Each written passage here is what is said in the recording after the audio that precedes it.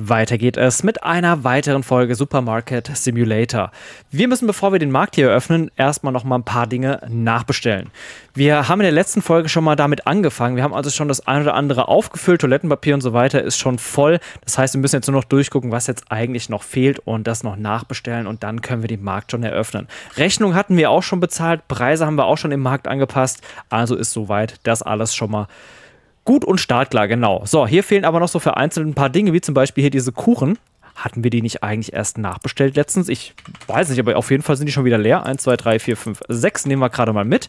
Dann haben wir hier drüben Müsli, da haben wir aber von jeder Sorte noch ein bisschen was da. Also ist das hier auch schon abgeschlossen, das ist abgehakt. Dann gucken wir gerade mal hier hinten bei den Getränken. Ich würde aber sagen, so auf den ersten Blick bei den Getränken sieht es auch sehr gut aus. Da müssten wir auch noch alles da haben.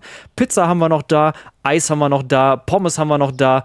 Ähm, Krabbensticks oder was auch immer das waren, haben wir noch da. Dann haben wir hier die Sachen noch vorhanden. Dann gucken wir hier drüben. Also hier die Seite auch komplett abgehakt. Wir schauen mal hier drüben. Lachs haben wir da, Thunfisch, Sushi.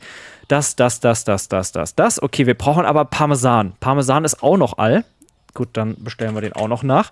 1, 2, 3, 4, 5, ups, viermal passen auf die Liste drauf. Brauchen wir noch zweimal. Dann haben wir das Regalfach auch wieder voll. Dann wäre das hier auch abgeschlossen. Dann gucken wir gerade mal hier drüben. Öl haben wir noch da. Mayonnaise ist ein bisschen eng, aber ich glaube, wir haben davon einiges im Markt. Ja, also das sollte normalerweise reichen. Brauchen wir nicht direkt nochmal nachbestellen. Ketchup haben wir noch da. Hot Hot haben wir da. Eier haben wir da. Äh, ja, somit das hier auch abgehakt. Wir schauen nochmal hier drüben. Nochmal grob durch. Das sieht aber auch alles ganz gut aus, außer die Nudeln. Die Nudeln fehlen. 1, 2, 3, 4 müsste jetzt, denke ich mal, passen. Genau, es sind viermal drauf. Dann haben wir das auch wieder nachbestellt. Puderzucker und so haben wir auch noch da. Da haben wir auch ordentlich was im Markt, glaube ich. Oder nee, wobei, Puderzucker und so hatten wir das nicht hier. Ach doch, von, also von dem Braunzucker, also vom Susu rede ich die ganze Zeit. Da haben wir hier unten ein komplettes Fach und von dem Zeug haben wir da oben ein komplettes Fach. Es ist genug im Markt, also brauchen wir jetzt nicht nachbestellen. Warten wir erstmal, bis es leer ist. Dann schauen wir mal hier. Ah, geschnittenes Brot ist ein bisschen eng, aber sollte noch passen. Wir können ja dann im Laufe des Tages hier noch nachbestellen. Hier habe ich ganz viele leere Kisten drin stehen für die nächste Umräumaktion. Kartoffeln haben wir noch da, Bleichmittel haben wir soweit noch da, Reiniger haben wir da, Geschirrspültabs haben wir noch da, das haben wir noch da, hier ist alles noch vorhanden. Und somit können wir eigentlich ja, die letzte Bestellung abgeben und dann den Markt eröffnen. Genau. Klingt, glaube ich, nach einem Plan. So, dann haben wir jetzt bedenkt, wir hatten in der letzten Folge, glaube ich, hatten wir, da haben wir, glaube ich, mit 20.000 rum begonnen. Dann haben wir einmal aufgemacht und jetzt haben wir nur noch 19.940. Wir haben also ultra teures Zeug nachbestellen müssen in der letzten Folge. Das ist natürlich nicht so super, aber gut. Wollen wir mal gucken, was jetzt heute alles so bei dem Tag hier rumkommt. Ich hoffe einiges. Wir sind ja immer noch dabei, hier Geld zusammenzusparen und ich denke mal, dass wir jetzt aber ja ein bisschen mehr Gewinn machen als bei der letzten Ladeneröffnung. Da haben die Kunden halt auch echt wenig eingekauft und günstiges Zeug und ja, dann waren es auch noch weniger Kunden, war alles ein bisschen doof gelaufen. Naja, so, ich wollte eigentlich jetzt noch zum Anfang der Folge ansprechen, dass die Folge heute nicht so lang werden kann. Ich bin momentan gesundheitlich ein bisschen angeschlagen, kam auch gerade erst vom ärztlichen Bereitschaftsdienst nach Hause. Ähm, darf jetzt Antibiotika nehmen, juhu. Ähm, und dadurch fehlt mir halt einfach ein bisschen Zeit. Wobei ich sagen muss, ich bin ultra schnell beim Bereitschaftsdienst jetzt am Wochenende durchgeschleust gewesen. Krass. War voll wenig los. Ich war, glaube ich, jetzt insgesamt 50 Minuten oder so nur da. Finde ich wenig. Normalerweise zwei, drei, vier Stunden ist da normal. Aber jetzt so eine Stunde ist, oder knapp eine Stunde ist okay. Ist okay. Naja, ach gut. Ja, der Sonntag heute ist nicht ganz so erfolgreich, wo die Folge rauskommt. Ich habe eine Folge komplett ausfallen lassen. Das schaffe ich jetzt überhaupt nicht mehr aufzunehmen. Vielleicht heute Abend mal gucken, wie es mir bis dahin geht, ob ich das Antibiotika vertrage und so weiter. Und ähm, ob ich die Kraft dazu habe, heute Abend nochmal aufzunehmen. Mal schauen. Mal schauen. Ähm, ja, ansonsten fällt halt am Sonntag mal eine Folge aus, beziehungsweise ein Let's Play ist wahrscheinlich ausgefallen. Mal gucken, wie gesagt, vielleicht schaffe ich es noch aufzunehmen heute Abend, morgen früh, mal schauen. Ähm und ich hoffe, dass dann nächstes Wochenende wieder alles normal läuft und ähm, genau. So.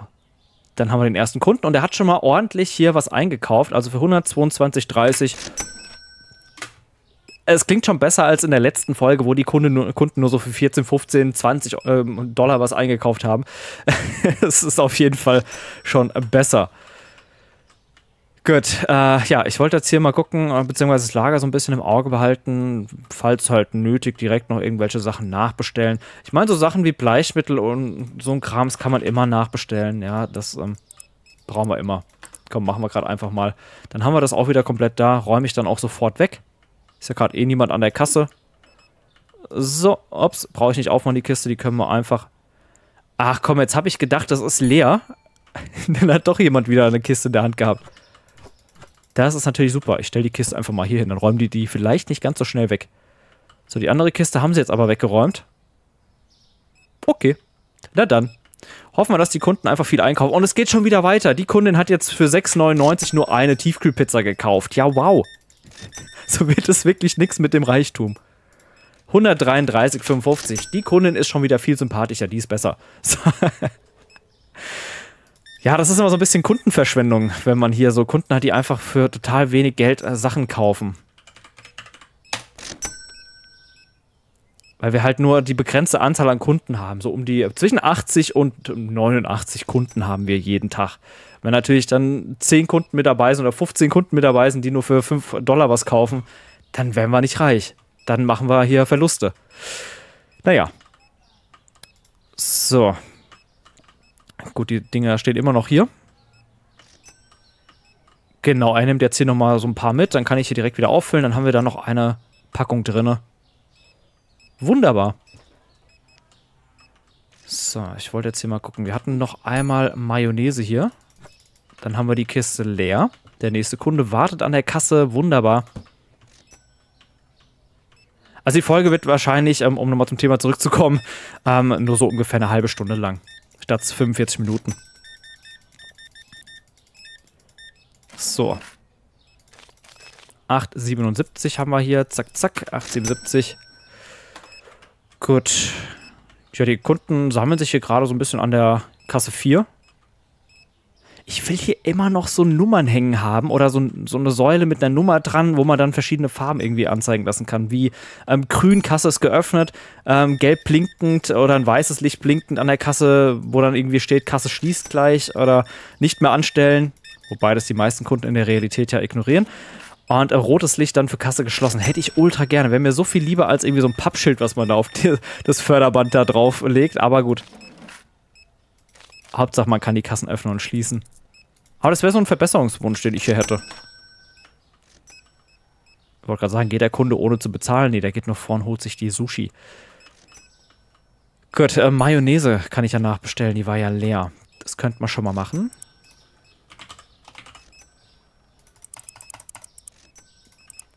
So. Genau. Ich gucke jetzt nochmal, ob ich das Bleichmittelpaket hier leer bekomme. Leider nicht. Oh, jetzt, jetzt sind sie alle an Kasse 5 gestürmt. Krass. 38, 18.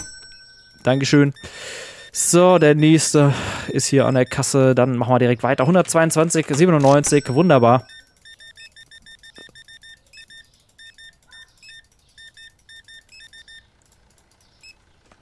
Hundert. Ups. Ups. direkt mal ein bisschen mehr Geld eingenommen. Wegen falschen Betrag, was ich eingetippt habe. Nee, hab's ja noch gemerkt. Ich will ja hier die Kunden nicht abzocken. Wir wollen das ja hier alles offen und ehrlich halten. Oh, da geht sowas natürlich nicht. So, sie hat auch bezahlt, wunderbar. Passend bezahlt sogar. Gut, da kommen gerade noch mal ein paar Kunden angestürmt. Ansonsten wäre das echt schon wieder so ein richtiger Verlusttag gewesen. Aber gut, äh, kann ja nicht sein, dass wir so mehrere Verlusttage hintereinander haben. Das wäre ja wirklich schlimm. So, wie sieht's aus? Ich kann die Kiste leer machen, wunderbar. Okay. Dann einmal hier ab in den Müll. Und ich stürme nochmal an die Kasse. Basmati-Reis. 1911 haben wir da. Wunderbar. So, bisschen Geschirrspülmittel, beziehungsweise Geschirrspültabs. Sehr schön. Gut, Kasse 4 ist aber heute wirklich der Renner. Kasse 4 ist der Renner. da wollen alle dran. Ja, ich könnte ja schon mal hier ein bisschen Kisten wegräumen. So. So. Und wir haben die nächsten Kunden an der Kasse. Da rennen wir gleich mal hin.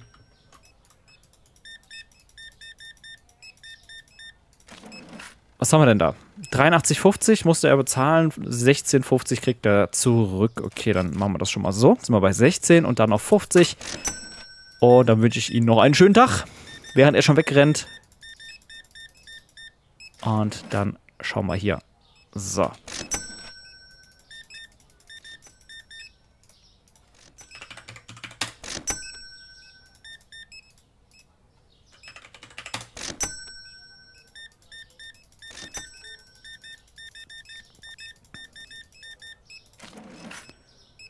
Ordentlicher Betrag. 114,29. Klingt gut. So, dann haben wir hier das, das, das und zack. Perfekt.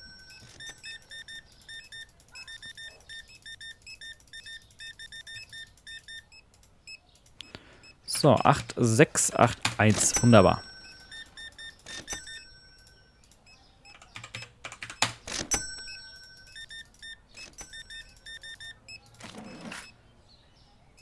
Zwei 49. Ups, jetzt habe ich da doppelt geklickt, wollte ich gar nicht. Da sind wir bei 45, dann noch 4 Cent hinterher und weiter geht's.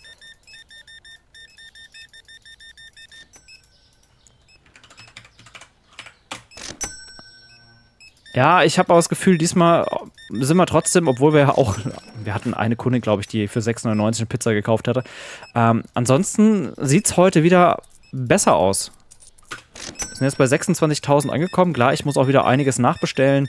Aber ansonsten, ja, so auf den ersten Blick geht es wieder aufwärts. So, sind wir bei 19, da müssen wir noch 28 rauskramen. Haben wir somit. Perfekt. Oh, sind die wirklich schon wieder leer gegangen? Hatten wir davon nicht da oder haben die nicht aufgefüllt? Nö, die sind tatsächlich schon wieder leer. Krass.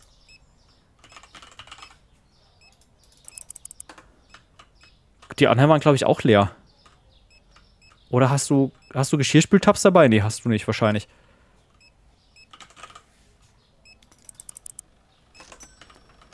Gut, das ist halt auch schweineteuer, das Zeug. Das ist halt auch schweineteuer. Na gut.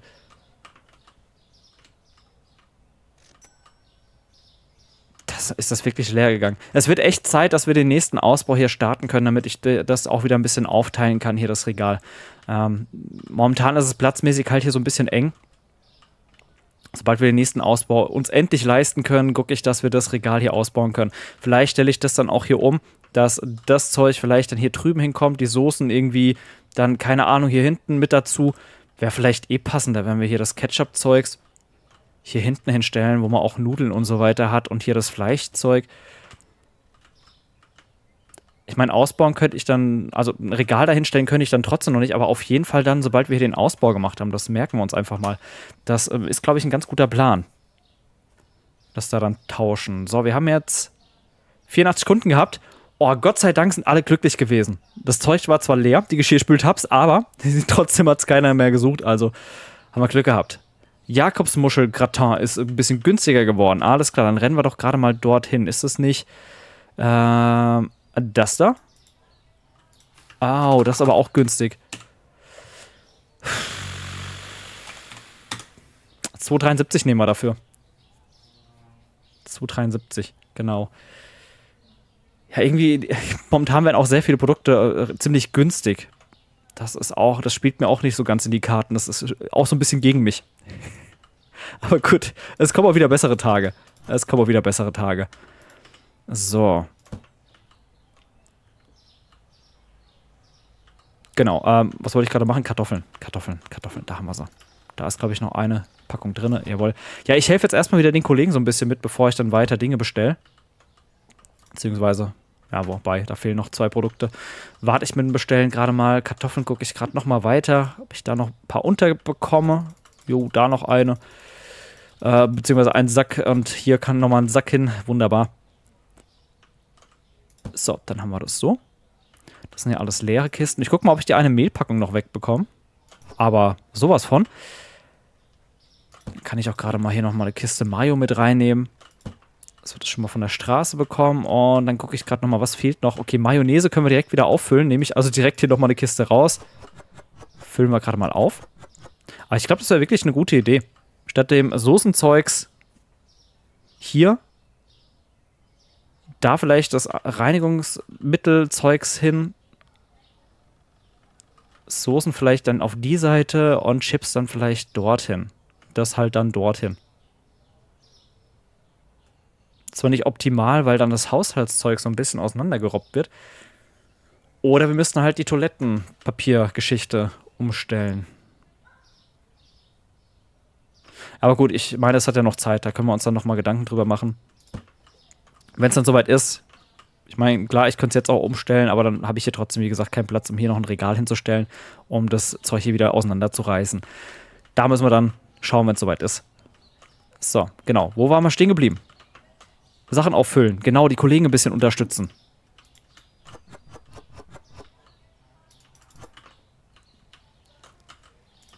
So, die Hot-Hot-Soße haben wir hier auch.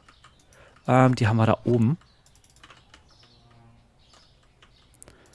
Hot Hot haben wir dort. Dann kümmere ich mich mal wieder ums Öl, weil das Öl, das ist ja immer so das Letzte, was die Kollegen hier machen. Verstehe ich gar nicht. Aber anscheinend mögen sie es nicht. Die mögen es nicht schmierig. Keine Ahnung, ich weiß es nicht. So, dann nehmen wir gerade mal das Olivenöl mit. Ich glaube, von dem anderen brauchen wir aber auch nochmal eine Portion. Ja, da ist auch noch ein bisschen viel Platz. Kiste müsste leer sein, genau. Etikett ist weg. Also, weg damit. Dann nehme ich jetzt hier gerade mal die Kiste mit. Mal gucken, ob wir die sechs Flaschen noch unterbekommen. Ich denke ja schon. Ah, wobei. Nee, doch nicht. Drei Flaschen bleiben übrig. Hatte ich jetzt da alles voll? Ich glaube schon, oder? Ja, gut, okay. Okay. Nur nochmal auf Nummer sicher gegangen. So, wir können uns gerade mal hier die Eierpackung schnappen. Ja, dann ist die Kiste leer. Schnappen wir uns gerade mal die nächste Kiste. Eigentlich wäre es auch richtig cool, wenn man hier so eine Papiermüllpresse hätte, oder? Ich meine, in der Realität hätte ja so ein Markt auch immer so Papierpressen. Ich würde es schöner finden, als ähm, hier immer alles in die Tonne reinzustopfen, die einfach nicht voll wird. Wo du einfach tausende Kartons reinschmeißen kannst und die, werden nicht, die wird nicht voll. Da tut sich einfach nichts ändern. So, ich glaube, ich bin hier rum schneller als durch den Markt. Dann schnappen wir uns gerade mal die nächste Kiste. So, dann haben wir noch die Viererpackung Eier. Die wir gerade nachfüllen können. Ja, Kiste ist auch wieder leer. Komm, ich nehme jetzt hier gerade mal das Mayo-Zeugs mit. Oh. Ich glaube, die kleinen Eierpackungen sind leer, oder? Kann es sein, dass gerade ein Kollege mit einer Kiste hier spazieren geht? Ja, der führt gerade hier ein paar Eier spazieren. Alles klar. Müsli, komm, gucken wir gerade mal nach. Vielleicht können wir da irgendwas auffüllen. Das sieht ganz gut aus. Okay, eine Packung haben wir wieder übrig. Das bedeutet aber, dass wir das nicht nachbestellen müssen. Das finde ich gut. Aber ich glaube Honeybees, oder? Ja, Honeybees haben wir doch noch ein bisschen übrig. Okay. Dann schauen wir mal nach denen. Da haben, glaube ich, auch recht viele gefehlt, oder? Ja. Können wir ordentlich was reinstopfen. So.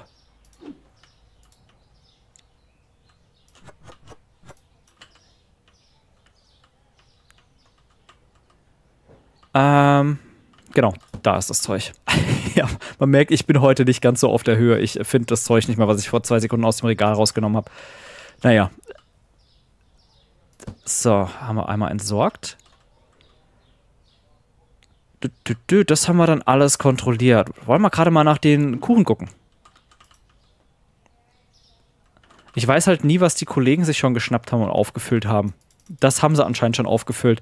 Die anderen Küchlein aber glaube ich noch nicht. Da schauen wir gerade mal nach. Das sah jetzt nicht so hundertprozentig voll aus. Genau, da passt noch ein bisschen was hin. Was könnten wir uns noch schnappen? Kaffee sieht voll aus. Tee. Tee ist auch sowas. Also Öl und Tee ist was, was die Kollegen nicht so gerne wegräumen, habe ich das Gefühl. So, schnappen wir uns gerade mal den grünen Tee. Zack, zack. Und dann haben wir hier noch den anderen Tee. Ich glaube aber grünen Tee brauchen wir auch gleich nochmal genau. Da ist auch noch ordentlich Platz. So, nächste Kiste leer. Ist egal, was für einen Tee wir jetzt gerade nehmen. Wir brauchen eh beide, die wir noch danach füllen. Boah, ich sehe gerade, wir sind kurz vor Level 63. Ja, nice.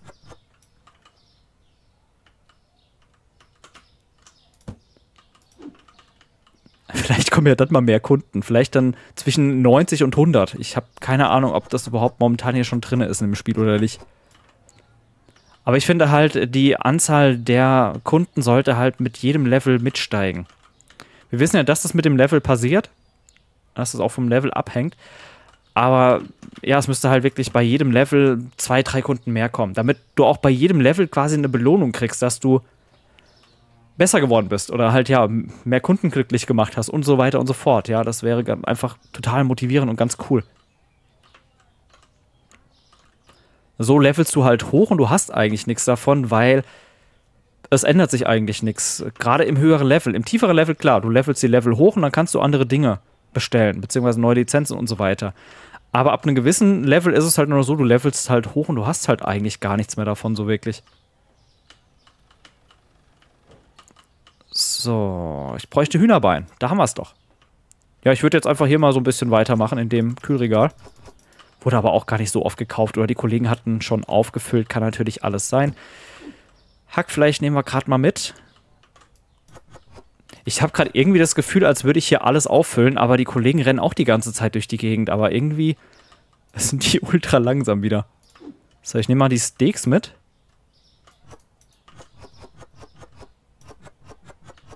So, ich glaube aber Kalbskotelett hat, hat gerade wirklich ein Kollege aufgefüllt. Also da brauche ich nichts mehr machen. Den Rest habe ich jetzt aufgefüllt. Ja, Eier hatte ich ja auch aufgefüllt. Das hat nur aufgefüllt. Joghurt könnte man noch auffüllen. Das hatte ich dort her. Dann Joghurt. Den haben wir da.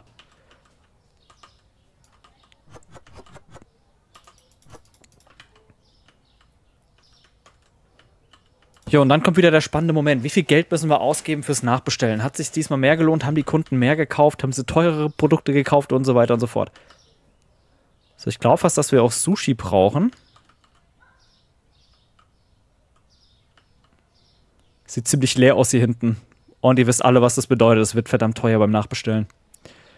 Gerade halt hier oben das Zeug. Ich glaube, das waren die Muscheln oder war das das Schinken? Ich muss gerade nochmal schauen. War das das Schinkengebäck oder was war das nochmal genau? Ich glaube, es sind aber die Muscheln, oder? Man erkennt es schlecht, was für ein Etikett da jetzt wieder ist. Hüpf, hüpf. Ich glaube, es ist aber eine komplett weiße Packung. Das müssten die Muscheln sein hier unten und dann ist es da oben eine komplett weiße Packung. Komplett weiße Packung fürs Kühlfach haben wir eigentlich nur die da. Das heißt, dieses Schinkengebäckzeug, was auch ziemlich teuer ist. Naja. Gut, wird uns wahrscheinlich nichts anderes übrig bleiben, als es wieder zu bestellen. Na gut. So, wie sieht's aus, Kollegen? Seid ihr fertig? Ich glaube, wenn die dahin rennen, haben wir alles soweit aufgefüllt und dann kann ich endlich mit dem Nachbestellen loslegen. Dann können wir das in der Folge schon wieder hier ordentlich voranbringen. So, Toilettenpapier. 1, 2, 3, glaube ich, war das, oder? Ja, okay, ich konnte jetzt aber nur zweimal draufsetzen, oder? Oder, oder? Jawohl. So, dann. Ich muss gerade nochmal draufsetzen, das Leuchtende. Von dem anderen haben wir noch da. Dann brauchen wir hier Schokolade. Hatten wir nicht auch Schokolade erst letztens nachbestellt? Davon haben wir noch da. Erdnussbutter brauchen wir auch. Oh, es rennt sogar. Ach nee, ich wollte gerade sagen, die rennen sogar noch gerade durch die Gegend einzeln, aber nee. Ähm, das sind die neuen Kisten, die sie durch die Gegend schleppen.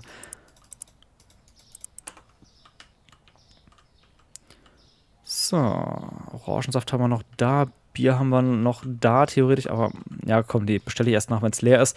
Fässer haben wir noch da, haben sie heute irgendwie gar nicht gekauft gehabt, also sehr wenig auf jeden Fall. Orangensaft haben wir noch da, sechser Pack Milch. Haben wir somit wieder auf der Liste. Dann brauchen wir die Soda weiß-rotes Etikett. Haben wir jetzt dreimal auf der Liste und jetzt gleich ein viertes Mal. Gut, dann brauchen wir hier oben das. Das war nochmal genau was. Da muss ich gerade nochmal hier nachschauen. Moment. Ja, wobei das wieder von den Farben so ein bisschen abweicht. War das das? War das Ropico? Ist das Ropico, was da leer ist? Manchmal wünsche ich mir so eine Leiter oder dass man das halt so ablesen kann, was da das genau ist.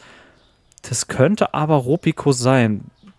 Blau oben am Etikett, rot unten. Blau oben, rot unten oder rötlich unten? Müsste Ropico sein. Würde ich jetzt einfach mal auf die Liste setzen. Also vom ersten Blick her. Dann haben wir auch das wieder. Hähnchen bräuchte man zweimal. Eins, zwei. Wir brauchen Eis. Ganze viermal eigentlich. Passt jetzt gerade nur dreimal auf die Liste drauf. Dann einmal so. Nochmal hinzugefügt. Das hier war... War das Schinkengebäck? Ich bin mir nicht mehr sicher. Schinken und Käse, das müsste das sein. Und ich glaube halt, wie gesagt, davon auch. Sind wir bei 1577. Boah. Die letzten Folgen sind echt finanziell gar nicht so geil. Normalerweise haben wir immer so 1, 2, 3.000 übrig gehabt. Momentan wieder, uiuiui, jetzt brauchen wir auch noch großes Sushi. Das wird auch nochmal teuer. Aber danach müsste man doch eigentlich wirklich mal wieder alles nachbestellt haben, was teuer ist. Und dann müsste es auch mal wieder aufwärts gehen in den nächsten Folgen. Naja, also Thunfisch haben wir noch da. Hier, Fleischzeug haben wir noch da. Alles gut. Wir brauchen aber Käse. Nein, das wollte ich jetzt nicht rausnehmen. Wir brauchen Käse. So, haben wir jetzt sechsmal auf die Liste gesetzt. Passt. So, Parmesan haben wir noch da. Das haben wir alles noch da. Öl haben wir noch da. Mayo haben wir da. Hot Hot Ketchup. Eier haben wir auch noch da. Hier unten die Viererpackung haben wir auch noch da. Brauche ich auch nichts nachbestellen. Hier wird es jetzt spannend. Spaghetti brauchen wir.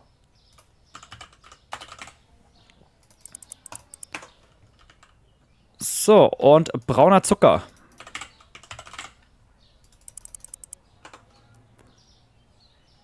Gut, Susu haben wir noch da, von dem anderen Zucker haben wir noch da, die Zuckersorten haben wir noch da, Pfeffermühlen haben wir noch da, Salz haben wir da, Kaffee haben wir noch, Tee haben wir noch, geschnittenes Brot bräuchten wir aber. Ah, beziehungsweise ich gebe einfach nur Brot ein. Kann ich jetzt nur zweimal auf die Liste setzen, nehmen wir noch zweimal mit. Und dann schauen wir nochmal hier. Mehl brauche ich zwei Sorten. Okay, einmal das. Und einmal das. So, sind wir bei 163. Jetzt sind wir schon wieder bei 20.913 angekommen. Und ich brauche noch Zeug. Also viel Gewinn haben wir heute auch wieder nicht gemacht. Das ist gerade eine Katastrophe.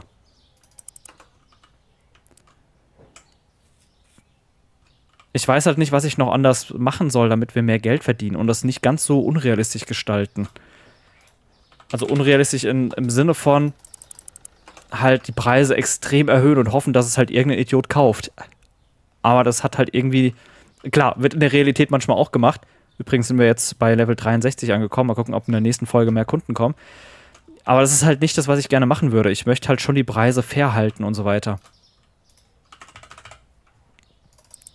Glaube, das brauchen wir. Dann gucke ich gerade nochmal Bleichmittel. Nehmen wir nochmal eine Kiste mit.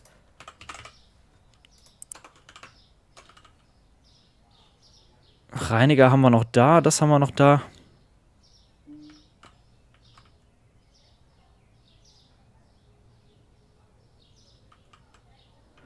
Na gut, äh, ich würde sagen, wir bestellen das gerade mal nach. Ich glaube, wir haben dann soweit alles durchgeschaut, oder? Ich glaube ja. Gut, das heißt, wir können hier den Kollegen hier gerade mal helfen.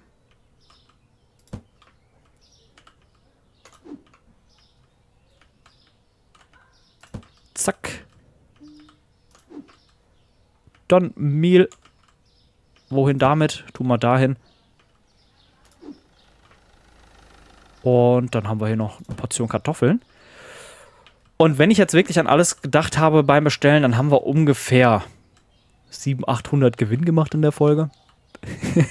also jetzt an, an dem Öffnungstag, was wir eben in der Folge hatten. Mehr war es leider wieder nicht. Ich meine, Hauptsache Gewinn. Ja, Kleinviech ähm, macht auch Mist, deswegen zählt auch. Aber ich habe jetzt eigentlich gehofft, dass wir ein bisschen zügiger vorankommen. Aber wie gesagt, es spielt momentan alles so ein bisschen gegen uns. Viele Preise sind günstiger geworden für die Produkte. Es waren Kunden da in der letzten Folge, die wenig gekauft haben. Somit war das eigentlich nur ja, Zeitverschwendung in dem Sinne, weil wir haben einfach nicht viel damit einnehmen können, wenn Kunden kamen. Und wie gesagt, die Kundenanzahl ist ja limitiert und somit, wenn Kunden kommen und kaufen wenig, hat man einfach wenig Gewinn, habe ich ja schon am Anfang erzählt. Und ähm, ja, ist nicht so optimal gelaufen. Heute äh, in der Folge haben die Kunden ein bisschen mehr gekauft, aber dadurch, dass die Preise halt als weiter abgesenkt werden, machen wir halt auch weniger Gewinn pro Produkt. Das ist halt auch so ein bisschen schwierig momentan. Naja, gut. Wir haben auf jeden Fall, ähm, würde ich sagen, alles nachbestellt, dass wir in der nächsten Folge direkt ähm, loslegen können. Und ähm, ich hoffe dann wirklich, dass es mal besser läuft. Ich möchte jetzt endlich den Ausbau wagen, damit wir hier umstellen können und so weiter und so fort. Ihr wisst Bescheid. Ja, ich ähm, hoffe auch, dass demnächst dann wieder die Folge ein bisschen länger wird, weil normalerweise hätten wir jetzt ja nochmal eröffnen können. Aber wie gesagt, ich muss es heute so ein bisschen begrenzen, sonst würde die Folge auch komplett ausfallen. Und ähm, genau, dann äh, machen wir in den nächsten Folgen hoffentlich wieder ein bisschen mehr Fortschritt und die Folgen gehen wieder länger und äh, dann sollte es wieder passen, genau. Ja, ich hoffe trotzdem, dass euch jetzt diese Folge gefallen hat. Falls ja, würde ich mich sehr über ein Like freuen. Gerne auch den Kanal abonnieren. Beziehungsweise, Moment, kleinen Moment, kleinen Moment. Ähm, natürlich gerne den Ka Kanal abonnieren, aber ich habe noch nicht die Rechnung bezahlt und sehen wir eigentlich erst, wie viel wir übrig hatten. Was hatten wir? 19.000 irgendwas, nachdem wir alles nachbestellt hatten. Jetzt haben wir noch 20.345. Der Gewinn ist noch weniger geworden. Es ist eine Katastrophe. Naja gut, ich hoffe, dass es demnächst, wie gesagt, besser läuft. Wo war ich stehen geblieben? Gerne Kanal abonnieren, gerne, wer möchte, den, kan äh, den Kanal, den Discord-Server beitreten. Link dazu ist in der Videobeschreibung unter Social Media. Da ist Linktree, kann man draufklicken, kriegt man alle möglichen Kanalix angezeigt. Und ja, wer möchte, kann auch gerne den Kanal mit der Mitgliedschaft unterstützen, wird dem Kanal ultra weiterhelfen und dir natürlich auch Vorteile verschaffen. Und ähm, ja, falls ähm, ihr auf der Suche seid nach Spielen oder nach dem Spiel hier, könnt ihr euch das Spiel für ein paar Euro bei Instant Gaming kaufen und ähm, gleichzeitig den Kanal unterstützen, wenn ihr es über den Link macht. Für euch kostet das Spiel trotzdem nicht mehr. Oder falls ihr irgendwas bei Amazon bestellen wolltet, in der Videobeschreibung ist auch ein Amazon-Link, könnt ihr draufklicken und dann könnt ihr euch was bei Amazon raussuchen und bestellen und dann unterstützt ihr damit auch den Kanal und für euch kosten die Sachen dann trotzdem auch nicht mehr dadurch. Genau. Dann vielen Dank auf jeden Fall für die, für die, für die Unterstützung und vielen Dank fürs Zuschauen. Bis zur nächsten Folge dann. Euer Tommy. Tschüss.